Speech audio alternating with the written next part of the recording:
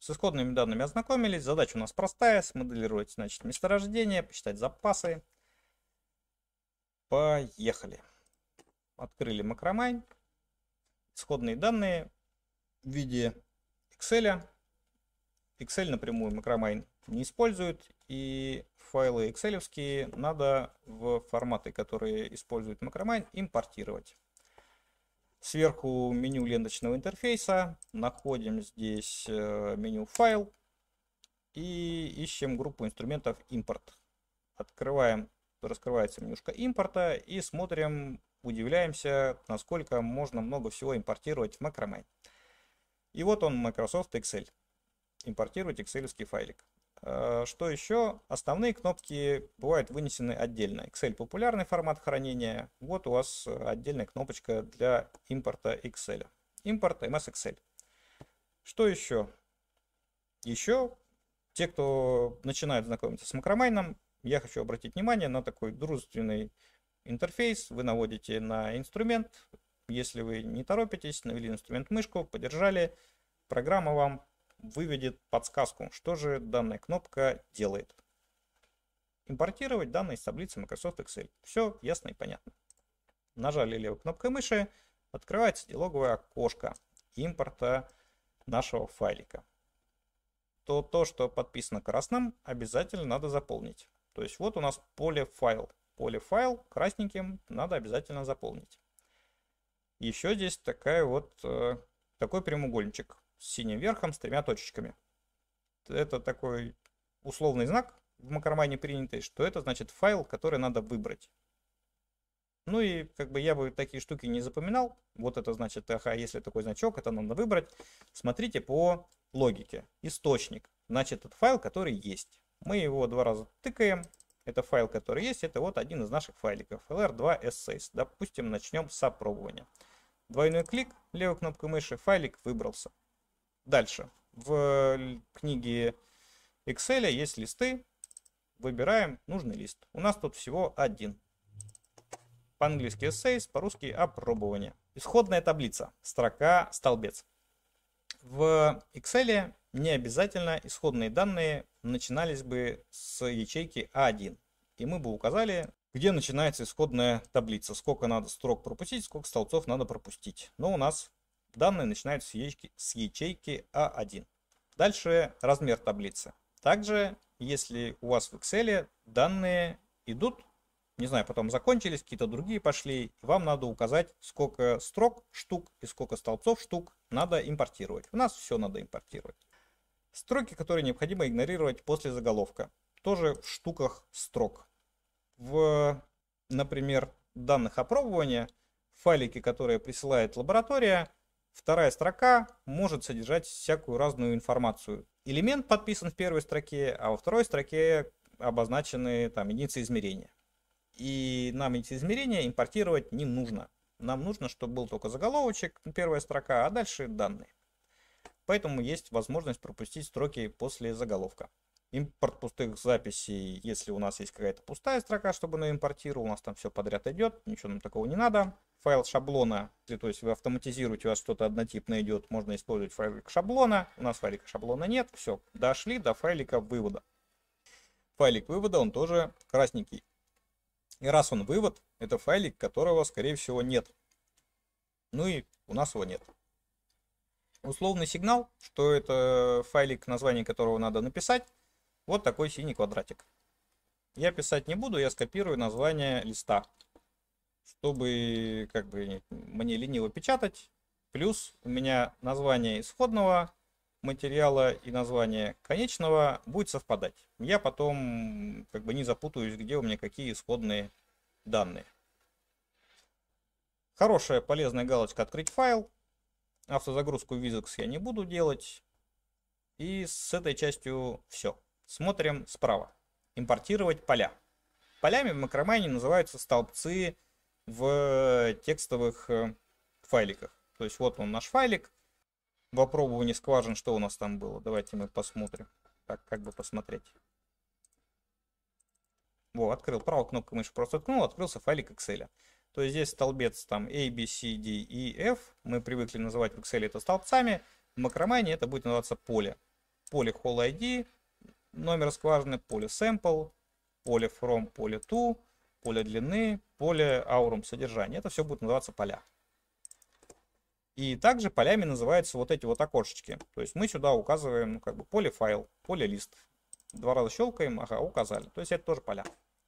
В диалоговом окошке справа у нас спрашивают, все ли мы хотим поля импортировать. То есть вот список полей, которые есть. Программа распознала, считала файлик Excel, и мы говорим, да, импортировать все. Нам все данные нужны. Не нажимая импорт, я нажму формочки и сохраню их как. И также сюда вставлю название опробования скважин. Нажму ОК.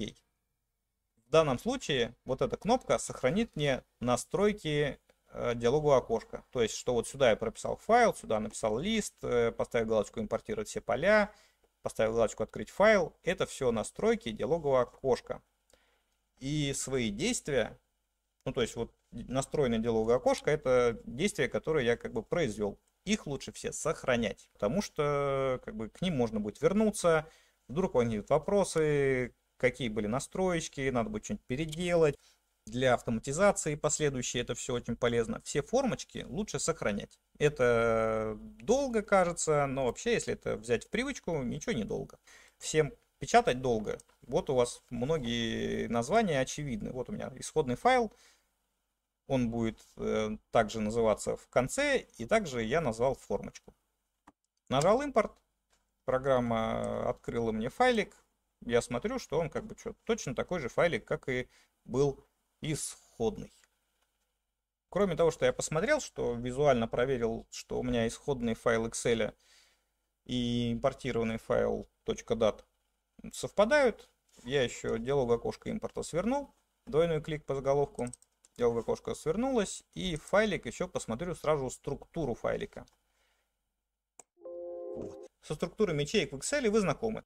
Там текст хранится, или число, или дата, или денежный формат. И в Excel формат можно поменять для каждой ячейки. В Macromine формат, он здесь обзывается тип, э, он меняется сразу для всего столбца. То есть вот я открыл э, структуру моего файла, чтобы посмотреть, какое поле у меня, какой ему присвоился тип. Whole. Тип символьный. Открываем список полей и видим, что текстовая информация хранится в символьном типе и в числовом. Ну и в символьном, если это просто текст, вот мы выбираем тип C, символьное. Дальше смотрим. Активно окошко ширина. Ширина это количество символов, которое может быть вписано в данное поле. Скважина-001, раз, два, три, четыре, пять э, знаков ширины. Плюс на кириллицу расходуется, по-моему, еще один знак. То есть нужно, допустим, для этого 6 знаков. Макромайн, он посмотрел весь файлик и сказал, что вам хватит 8. Например, если вы знаете, что здесь там больше, придут новые скважины, будет длиннее название, можно сразу заранее там сделать побольше. Смотрим дальше. Sample. Sample это номер пробы. И sample номер пробы, по сути, это тоже должно быть чисто символ. Номер пробы это же просто имя пробы. А так как они циферки, он сказал, что нет, это числовое поле. На мой взгляд, нет должно быть э, как бы номера проб как бы бессмысленно складывать. Нельзя сказать, что там проба 2506, она больше проба 2505, это просто символ. Я поменял тип поля sample на символьное. Здесь ширина 20, там побольше. Следующие поля from, to и длина. Поле от, поле до, длина. Для него программа предлагает вещественный тип.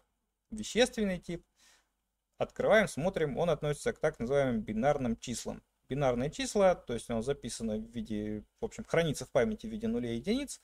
А, так делается для быстроты операции, для уменьшения объема файлика. Но это приводит к некоторым интересным особенностям. Потом покажу. И если в вашем поле хранится только числовая информация и только числовая, то по умолчанию можно смело убирать вещественный тип. То, что здесь стоит формат и стоит десятичные, и указано, что три знака после запятой, вот это десятичные 3.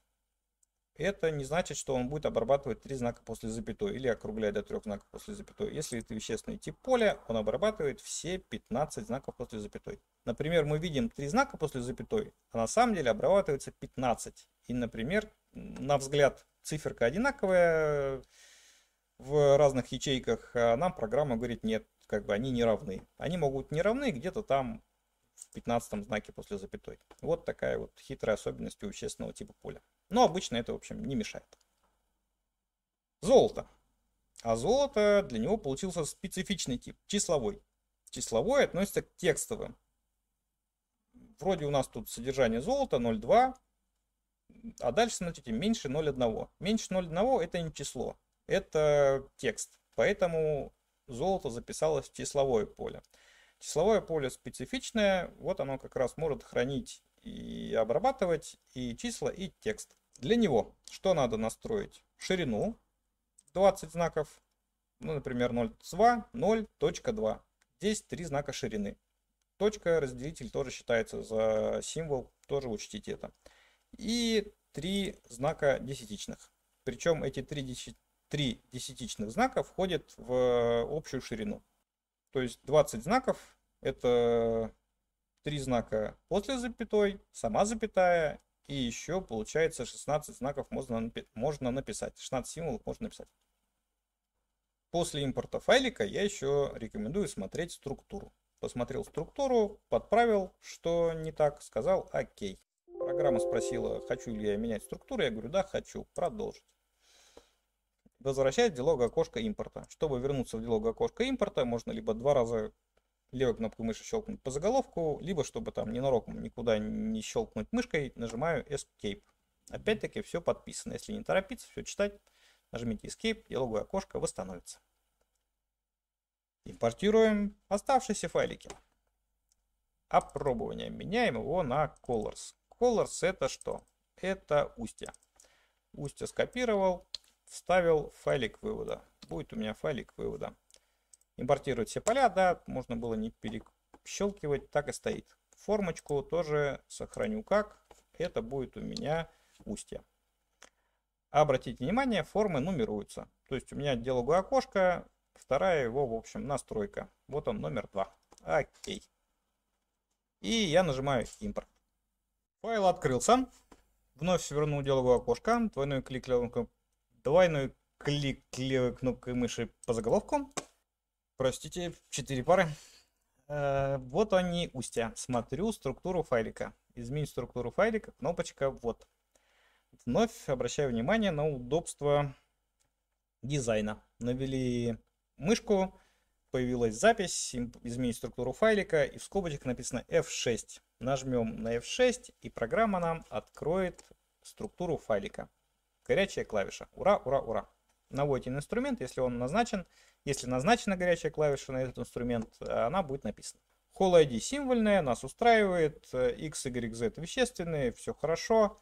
Можно, не знаю, там чисто, чтобы не маячило лишние знаки поубирать. Так будет аккуратнее выглядеть. Airline символьная, Company символьная. Да, все хорошо, окей. Да, продолжить. Uh, escape, чтобы развернул диалоговое окошко. Файл colors uh, устья импортированы. Меняю на lid. Меняю на lid, меняю лист, литология, скв, скважин, скопировал, файл вывода вставил в формочку сохранить как вставил. Окей. Нажал импорт. Файлик импортировался, свернул, нажав два раза левой кнопкой мыши по заголовку. Литология скважин, F6, Hall ID символьная, from to, все с ним нормально. Геокод символьный, геотекст тоже символьный. Окей. Да, продолжить. Escape, чтобы развернулось окошко. Меняю лид на Survice. Звучит песня из Роки. Все бегут, тренируются. Инклин треск важен. Сюда ее. Формы. Сохранить как. Сюда ее. Окей. Импорт. Сохранение форм крайне важно еще как бы для отчетности. Вдруг у вас потом спустя, спустя год, не знаю, какой-нибудь, когда посчитанные вами запасы превратятся в проект э, по добыче и переработке руды, и потом вдруг выяснится, что посчитали вы неправильно. И вы тогда скажете, смотрите, вот у меня все ходы записаны, например. Так, инклиметрия. Вот она, инклинометрия. Нажимаем F6, чтобы посмотреть структуру. Холл ID символьный, глубина вещественная, дип вещественный, азимут вещественный. О, смотрите, чтобы каждый раз не писать единичку, сочетание клавиш, чтобы меняли значения, копировали значения. Ctrl-R. Написал циферку, хочу прокопировать, Ctrl-R нажимаю. Окей. Продолжить. Вернулся к диалоговому окошку. Следующий файлик. Тренч. Тренч это данные по канавам. Здесь сразу же три листа. Trench Points. Trench Points хочется скопировать, но давайте я буду переводить. Trench Points это канавы точки. Точки канав. Переключусь на Caps, потому что хочу всегда писать с большой буквы. Хочу всегда писать большими буквами, потому что программа различает верхний и нижний регистр. Верхний и нижний регистр программа различает, э, ей порой нужно обращаться к названиям файликов для автоматизации процессов, например, при написании макросов. И чтобы не путаться, с большой буквы мы писали, с маленькой буквы мы писали, всегда используйте один регистр. Латиницу, кириллицу программа тоже различает, всегда пишите в каком-нибудь одном варианте. Здесь я точки и пробел канав написал. Пробелы тоже нехорошо. Пробелов не видно, сколько их. Один пробел или два пробела. Вот на глаз не сильно понятно, а программе точно ясно, сколько пробелов. И вы пишете название файлика, ставите пробел лишний, и программа не может вам файлик найти. Лучше использовать подчеркивание, знак минус или еще что-нибудь. Ну, я, в общем, напишу пробел. Точки канав точки канав, Ctrl-C, формочку сохранить как, вставил, Ctrl-V, ОК, нажал импорт, все импортировалось, свернул диалоговое окошко, пошел посмотреть структуру файлика, ID символьный, X, Y, Z десятичные. Совершенно это не обязательно. Это я повторюсь, делаю просто, чтобы записи аккуратнее смотрелись номер различной линии, ну, компания, символьная и то и другое. Все хорошо, окей. Продолжить. Escape нажал, чтобы развернулось окошко.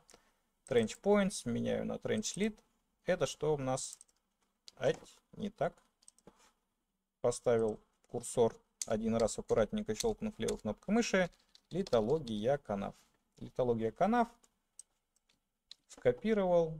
Формочку сохранить как. Вставил. Окей нажал импорт. Нажал импорт, файлик импортировался, я не поленился, свернул окошко, глянул структуру. Все хорошо у меня тут. Окей, продолжить. Вернулся в диалоговое окошко, нажав Escape. Остался Essay. Essay это опробование канав. Опробование канав.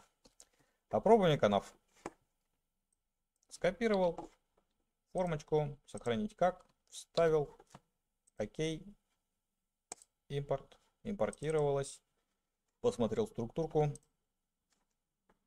все хорошо.